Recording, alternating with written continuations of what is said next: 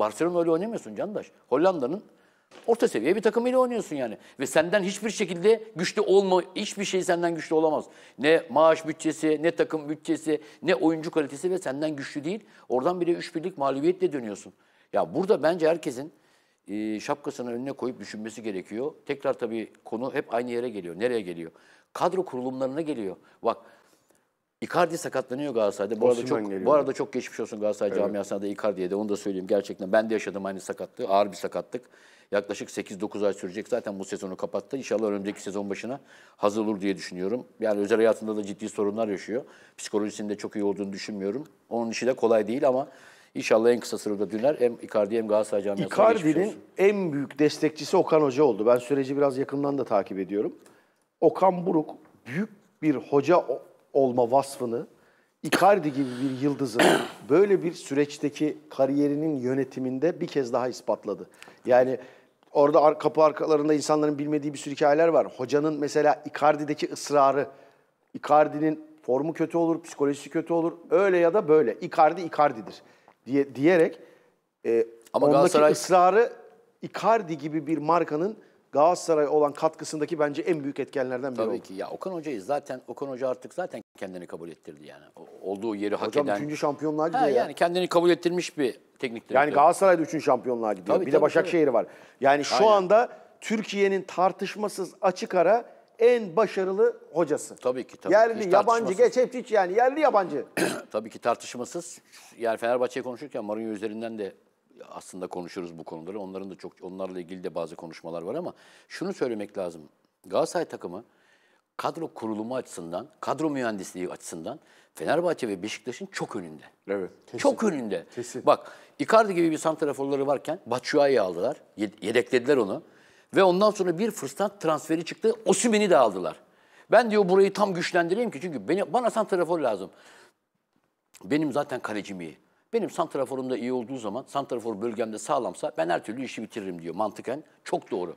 Şimdi eşleştiriyorsun, çok konuştuk bunu, büyük takım santraforluğunu. Ben mesela En-Nesyri'yi de seyrediyorum Fenerbahçe'deki. İşte Beşiktaş'ta Immobile var. Galatasaray'da da Osimhen var. Şimdi bu üçlüyü yan yana koyduğun zaman zaten üçlüyü yan yana koyamıyorsun. Yani öbür ikisinin yanına ancak belki Batshuayi'yi koyarsın. Osimhen'i Evet. koyamazsın yani. Koyamaz. Yani Şu Osimhen koyamazsın. o tarz bir santrafor değil. İşte bugün Beşiktaş maçını seyrediyoruz Ama hocam mesela. Osimen sana şöyle söyleyeyim. Yani Osimen Türkiye liginin çok üstünde bir santrafor Ama değil adam mi? bak Yani adam şöyle bir durum var. Osimhen'in Galatasaray'da oynamaya ihtiyacı var. Galatasaray doğru transfer yapıyor. Evet. İhtiyacı var adamın. Buraya gelip de yatamaz. Öyle bir özelliği yok. Çünkü zaten orada sorun yaşamış. Artık burada tekrar oyunun içine girmek zorunda. Ve adam sanki 10 yıldır Galatasaray'da oynuyor gibi oynuyor, seviniyor. Aynı şekilde Sara. Hadi Torreira falan iki senedir oynuyor. Bunlar yeni geldi. Yani Davidson Sanchez öyle aldıkları adamlar öyle taşlar alıyorlar ki kaleci Mustera, Davidson Sanchez gibi bir stoperin var. Torreira gibi bir orta sahan var. Onun yanına bir de Saray'ı alıyorsun. Önde Osimen var. Bambaşka bir Yunus ortaya çıkıyor.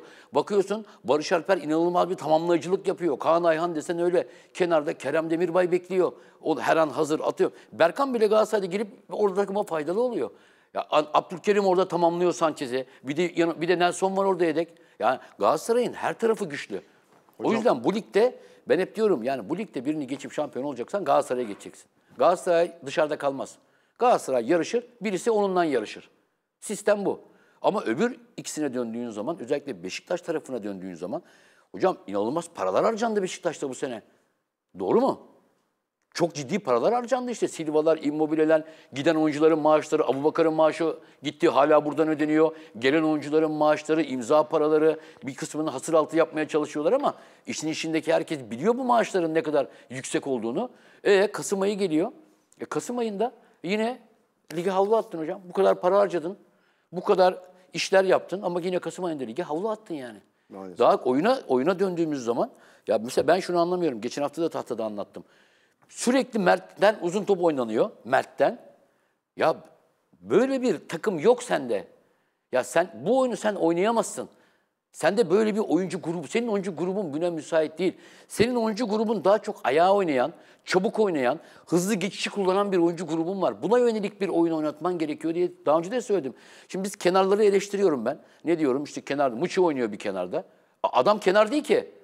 Oynamaya çalışıyor. Üç tane gol attı son maçlarda. Yani giriyor oralara. Gol mol atıyor ama yetmez. Öbür tarafta Joe Mario oynuyor. Yetmez. Oraları kaldırmıyor bu oyuncular. Çok daha sana güçlü olan, fizik gücü olan oyuncular lazım. Skor etkinliği olan, top taşıma özelliği olan oyuncular lazım. Kenarların top taşıyamıyor.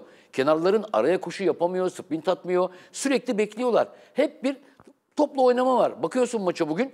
Ya Beşiktaş'ın pozisyonu yok. Var mı? Ya gol pozisyonu yok. Belki bir iki tane ıvır zıvır pozisyon vardır. Seyretmediğimiz anlarda varsa var. Benim seyrettiğim anlarda yok. Bir Semih'in bir pozisyonu vardı. İşte son dakikada bir pozisyon varmış herhalde. Onun haricinde pozisyona giremeyen bir Beşiktaş var. Üretemiyorsun. Ya üretkenlik yok. Yani sonuçta 10 hafta, 10 maç önce de konuşurken atıyorum aynı şeyi söylüyorsun. Bu takıma baktığın zaman bu takım sana ileriyi göstermiyor. Doğru mu? Göstermiyor. Yani sen ne kadar konuşursan konuş. İşte istersen içeride 6 tane Anadolu takımını yen arka arkaya ama sana göstermiyor. Ya bugün Fenerbahçe Sivas'ı yenip günü kurtardı değil mi? Günü kurtardı Fenerbahçe. 4-0 kazandı. Önemli bir galibiyet aldı diyemeyeceğim. Çünkü normal bir galibiyet. Alınması gereken bir galibiyetti. Ama Sivas'ta çok zayıf takım. ama ama bak ya ben sana Fenerbahçe'nin kadrosuyla Sivas'ı yan yana koy. ama işte şunu anlatıyorum.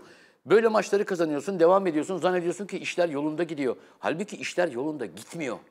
Sen bugünlük işler yolunda gidecek. Hocam futbol seyircisi bizde maalesef şeyi çok seviyor. Yani yanılmayı ve yanıltılmayı çok seviyor. Dediğin gibi işte Bodrum maçında 5 tane atıyor E, Yani takım. Bir takım 100 milyon euro, bir tanesi 10 milyon euro. o kadar yani. Hemen başlıyorlar işte atıyorlar sağa sola. Dört tane gerizekalı buluyorlar Twitter'da kendilerini. İşte diyor ki bak ona öyle diyordun nasıl oynadı bilmem ne yaptı falan. Arkadaş söylediğin gibi şu an bu ligdeki standart Galatasaray'ın koyduğu bir standart. Yani.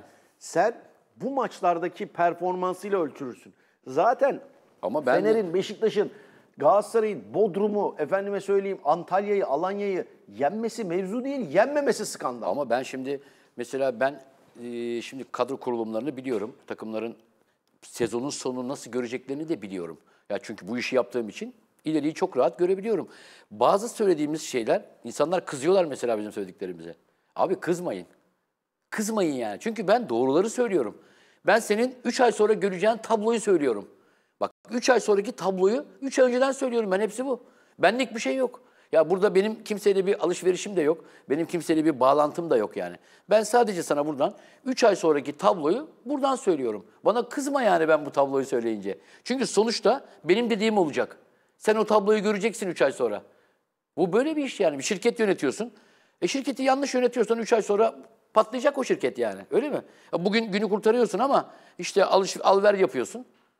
Kredi kartı ödemesi gibi düşün. Asgarileri ödüyorsun, asgarileri ödüyorsun. Tabii. Ama iki ay sonra o asgarileri ödeyemeyeceksin hocam. Patlayacak o kredi kartın yani senin. Döndüremeyeceksin yani. Döndürüyorsun ya 5-6 tane kredi kartını.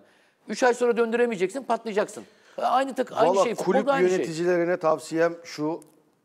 Bu hakem mevzusundan artık sıyrılın. Gerçekten kimse yemiyor bu işleri. Gerçekten hakem, dramatik hakem hataları var. Bunlar konuşulsun. Türk futbolu adına kepazelik, kepaze işler oluyor hakem hatası anlamında. Bunları bir kenara koyuyorum. Ama oynanan oyunun üstünü kapamaya çalışmayın. Çok tabii ki net yani. bir şekilde artık göze giren bir oyunsal hata var. İyi oyun oynanmadığında bunu hakemle izah etmeye çalışmak artık komik duruma düşmek oluyor. Yani. Bak tekrar söylüyorum ama bu arada şeyden de çıkmasın bu konu. Ya hakemler şahane. Ne yapıyor ki hakemler canım? Siz kötü oynuyorsunuz demiyorum. Evet, feci hakem hataları var ama maalesef siz de kötü oynamıyorsunuz. Berbat oynuyorsunuz. Yani Kim işte- üstüne alınıyorsa ona söylüyorum bunu. Yani takımları e, konuşurken tabii şimdi oyun, oyuncu bireysel performanslar üzerinden de gidebiliriz. Oyunsal da gidebiliriz. Ama hem bireysel performanslar kötü hem kadro mühendisliği, oyuncu seçimleri kötü. İnanılmaz paralar veriyorsunuz hocam oyunculara. Yani bari iyisini alın.